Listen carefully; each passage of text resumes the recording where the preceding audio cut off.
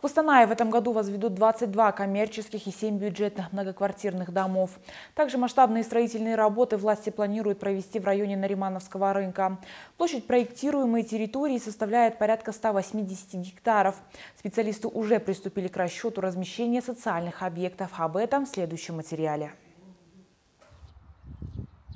Строительный сезон стартовал в Кустанае. Всего в городе планируют возвести 22 коммерческих и 7 бюджетных многоэтажек. В областном центре разработан и утвержден 21 проект детальной планировки и 4 проекта застройки на общей площади 2500 гектар. Масштабную работу власти проведут и в районе Наримановского рынка, пока определены границы территории. Проектировщики рассчитывают размещение социальных объектов, двух детских садов и двух школ. Планируется строительство подстанции станции, которая позволит обеспечить микрорайон бесперебойным электроснабжением и снизить нагрузку на электроподстанцию «Южная».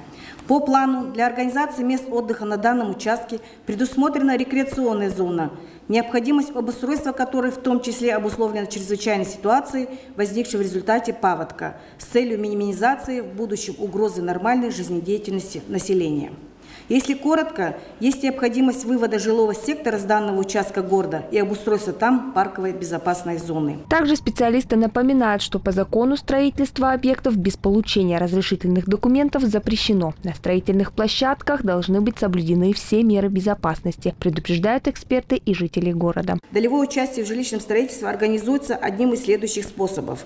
Получение гарантии единого оператора – участие в проекте банка второго уровня, привлечение денег дольщиков после возведения каркаса многоквартирного жилого дома. Местные исполнительные органы областей, городов областного значения в сфере долевого участия в жилищном строительстве выдают разрешение на привлечение денег дольщиков. Запрещается привлечение денег физических и юридических лиц для строительства многоквартирных жилых домов иными способами. Между тем, нарушений застройщиком уполномоченной компании требований законодательного акта Республики Казахстан о долевом участии в жилищном строительстве влечет штраф на юридических лиц в размере 300 месячных расчетных показателей. Застройщикам и предпринимателям необходимо учитывать разработанный дизайн-код города. Следует обратить внимание на цвет и отделку фасадов, входную группу, дизайн элементов, благоустройство, озеленение, вывески и рекламные конструкции. Еще один проблемный вопрос озвучил Аким города. Марат Джандубаев считает, что парковочных мест в новых микрорайонах недостаточно. Строят у нас э, в центре города, вот сейчас жители обращаются тысячу раз, вот сидит Иван Васильевич, кстати. Вот сейчас, пока парковочные места он не решит, он в дом не ведется, имейте в виду. Это для застройщиков сразу говорю.